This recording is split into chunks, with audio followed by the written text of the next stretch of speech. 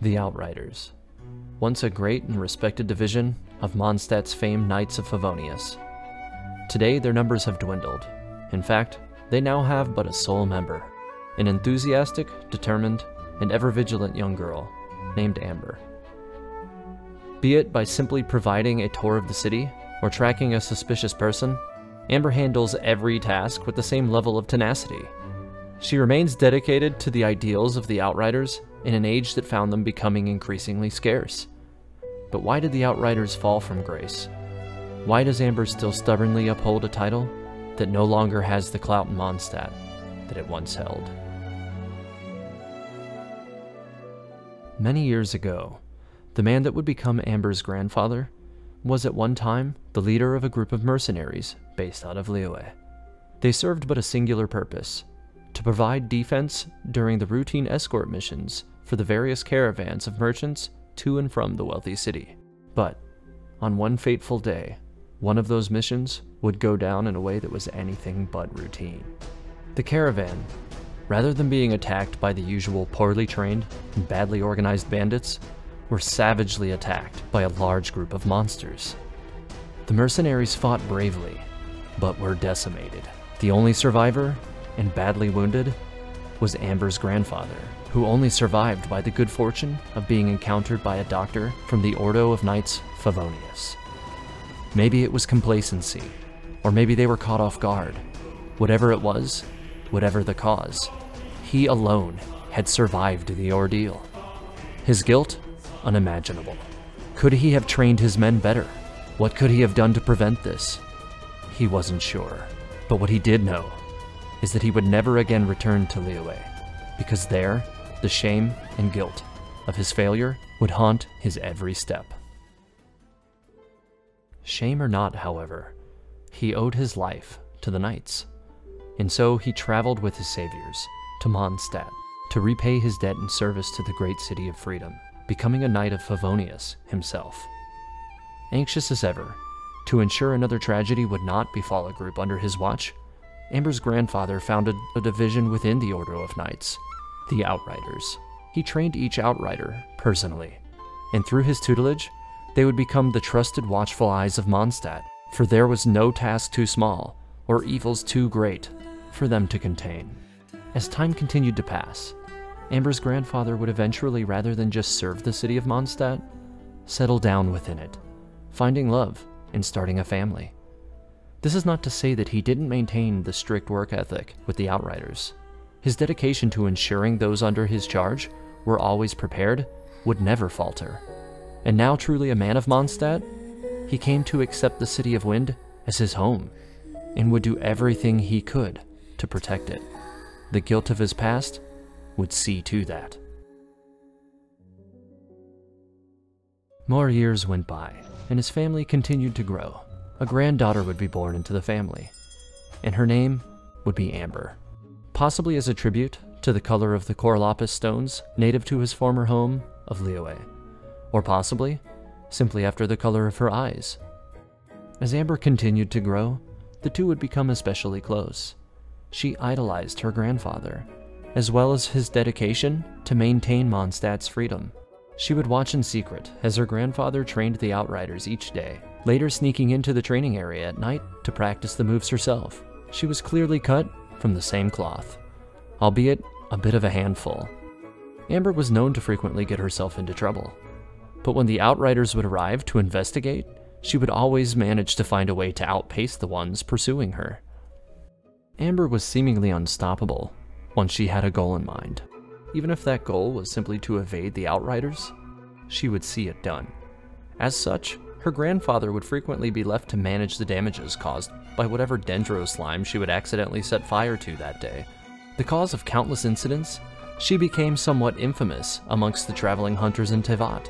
But despite her knack for getting into trouble, Amber was still a fireball of both enthusiasm and positivity. Her grandfather would take notice of the resourcefulness that she displayed in always managing to elude the outriders he commanded. Deciding she just needed guidance, he went on to teach Amber everything he knew, and explaining that all the responsibility as captain of the outriders could one day be hers. Through hard work and determination, Amber became an outrider, and with her tenacity, no corner of Mondstadt would go uninspected. If somebody was in trouble, she would be there. If someone so much as needed a tour of the city, she would provide that service to the best of her abilities. An exuberant streak of red, with the cunning of a rabbit, will descend upon all travelers through the region to ensure the safety of Mondstadt. Diligent as possible in all of her tasks, she went on to become one of the most skillful flyers of wind gliders in all the land, often winning the annual glider competition and taking the responsibility onto herself to qualify other would-be flyers for glider certification. Despite her own penchant for having her personal license revoked for breaking the rules from time to time. The Outriders were seemingly at their strongest, and everything was falling into place. One day, four years ago, Amber's grandfather disappeared. With no note left behind to provide a clue as to why, and his sword and coat of arms left behind in his office, he was nowhere to be found. The heart and soul of the Outriders had simply disappeared without a trace. Amber was too young to take command of the Outriders, and without strong leadership, the Outriders quickly lost their edge. To make matters worse, rumors began to arise, suggesting that Amber's grandfather had defected to Mondstadt's enemies. One by one, the members of the Outriders began to resign, leaving the Outriders a pale shell of the once great organization. With the departure of nearly all the other Outriders, the organization would be preserved by the Knights of Favonius in name only.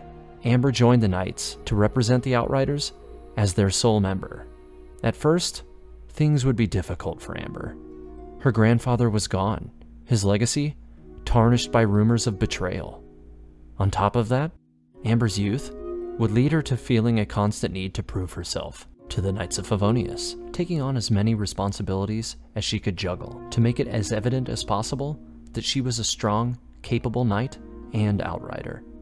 Amber believed it was now her responsibility to take on her grandfather's post as captain of the Outriders, in hopes that doing so would help her discover the motivations resulting in his silent departure.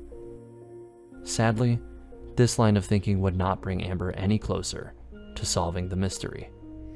For a time, she became somewhat aimless, until she rediscovered a book of fables from her childhood, known as Wind, Courage, and Wings.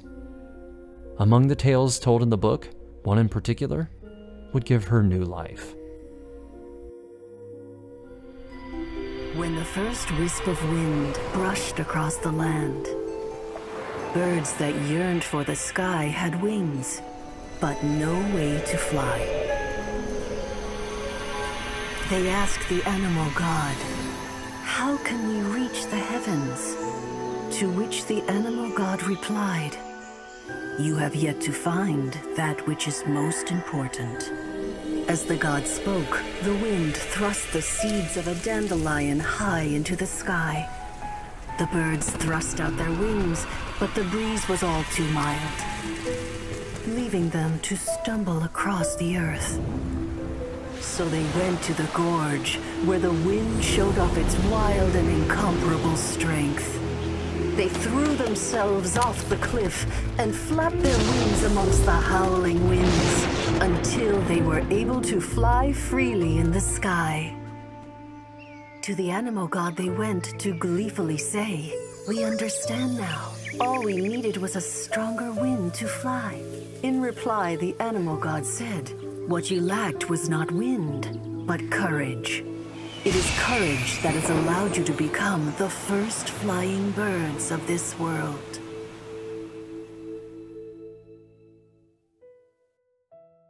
What you lacked was not wind, but courage.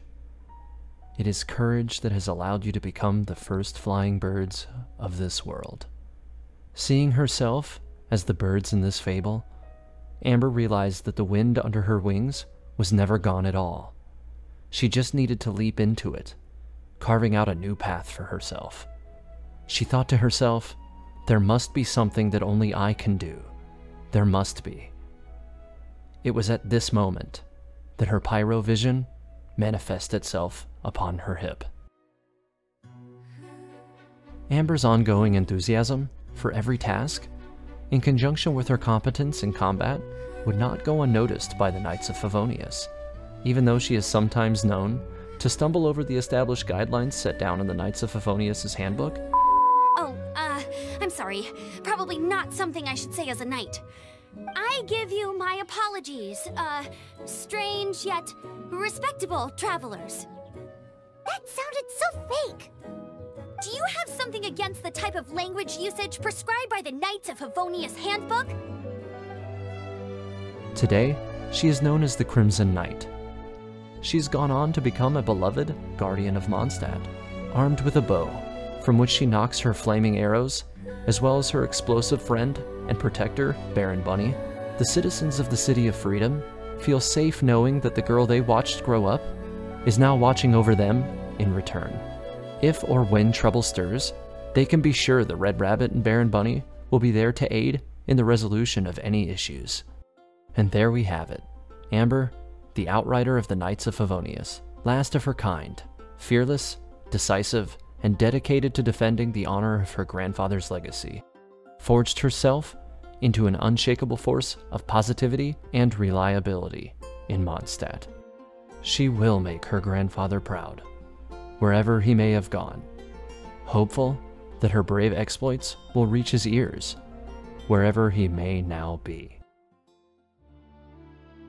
In a previous video, I discussed the events that led to Diluc's disillusion with the Knights of Favonius, after an event that also took place roughly four years ago. Did Amber's grandfather also find himself at odds with the leadership of the Knights of Favonius following this event? Or was something else at play here? Is it possible that his rumored defection was as a result of his witnessing such shameful corruption, undermining the integrity of the Order of Knights? Or is it possible that he left in an attempt to bring closure to the shame of his past, finding a lead on what possibly could have provoked such a brutal monster attack? Exploring this leaves more questions than answers, but for now, I'll keep searching for clues, which may shine a light on the mystery of Amber's grandfather. What do you think of Amber's story? I would love to hear your thoughts on her in the comments below. If you enjoyed the video, be sure to leave a like, subscribe, and don't forget to click the bell icon so that you are notified when my next video goes live. Lastly, join the Teyvat Historia Discord server, where you'll find an ever-growing community providing useful links to Genshin content and illuminating discussions regarding Genshin Impact's lore, theory crafting, and mechanics. Thanks for watching Teyvat Historia. May the seven guide you, travelers.